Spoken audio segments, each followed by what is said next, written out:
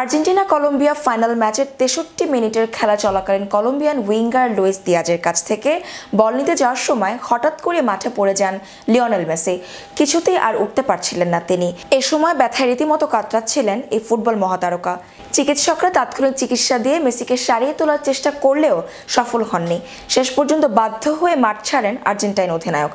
নিজের official Facebook page ও ইনস্টাগ্রামে Messi একে একে তিনটি পোস্ট করেন। কোপা জয়ের পর প্রথম পোস্টে তিনি দুই হাতে কোপা আমেরিকার দুটি ট্রফি নিয়ে হাস্যোজ্জ্বল একটি ছবি দিয়ে লিখেছেন, আরও একটি। মেসি তার দ্বিতীয় পোস্টে পরিবারের সদস্যদের নিয়ে শিরোপা উদযাপনের একটি ছবি দিয়ে লিখেছেন, পরিবার। এরপর ভালোবাসার একটি ইমোজি দিয়ে লেখাটা আরও একটু বাড়িয়েছেন সবসময় পাশে থাকার জন্য ধন্যবাদ।